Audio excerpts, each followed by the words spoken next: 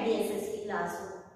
Now students, in the last video, we started our chapter that is lesson number 8, water resources, right? And students, in that we have discussed this water is very important for life, right? Plants, animals, everyone need water to survive, okay? And we have discussed that our earth, three-fourths of our covered with water. But this water is not fit for our domestic and industrial purpose. Right? And also we have discussed that farmers mostly they depend on rain for their growing crop. Yes students, we discussed that the main source of water is rain and these farmers is they depend on rain for their growing crop.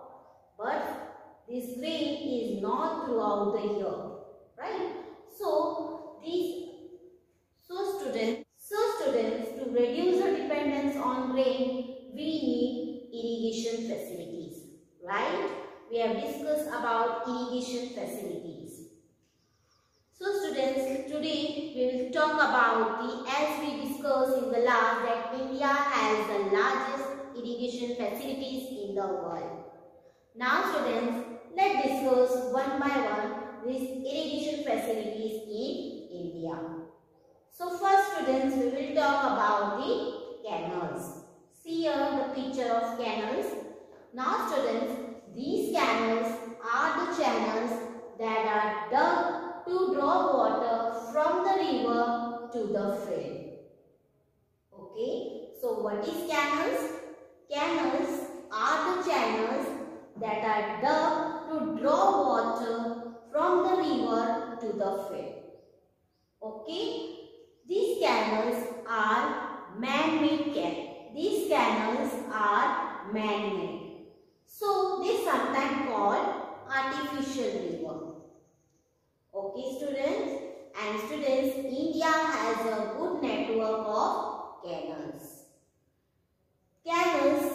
are very common. Canals, canals are very common especially in the northern plains. In the state of Punjab, Haryana, Uttar Pradesh and Bihar, these states they, they commonly use these canals. Okay. Now students will see some important canals in India. They are Indira Gandhi Canal, Agra Canal, Sirhind Canal, Upper Ganga Canal, Yamuna Canal, etc. Okay students, so this we discuss about the canals. Now let's discuss about the wells and tube wells. Discuss about the wells and tube wells. Now, students, irrigation through wells is now students, irrigation through well is suitable for small farm.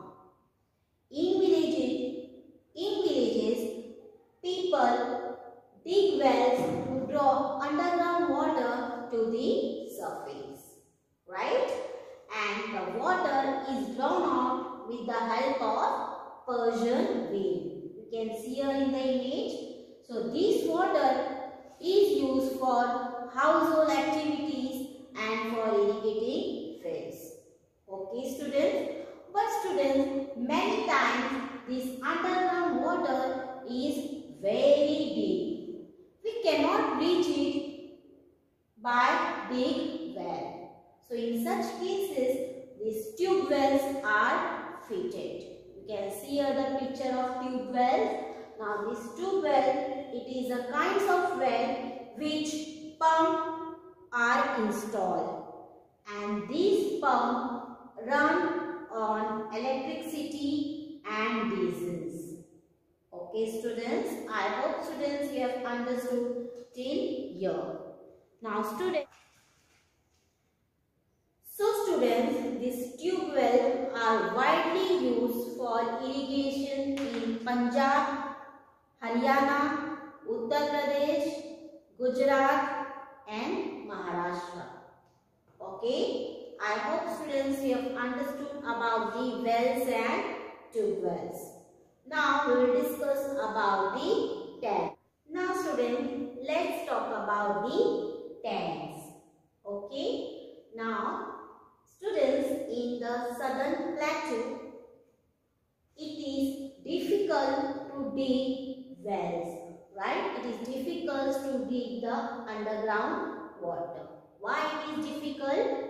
Because the land is very hard right? Because the land surface is very hard rock.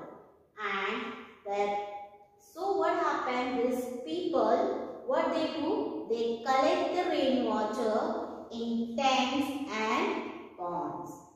So students these tanks are commonly used in the southern plateau. Right? In the state of Tamil Nadu, Andhra Pradesh, Karnataka, etc. These tanks and ponds are commonly used for the agriculture and for other purpose. Right? Students, in towns and cities, people get water through tap and pipelines.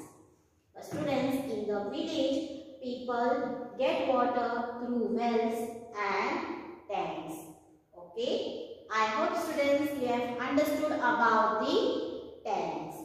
Now in the next video, students will discuss about the dams and the uses of dam. By the time students, what you are going to do? You have to read the textbook and underline the important points. Now students take your water resources.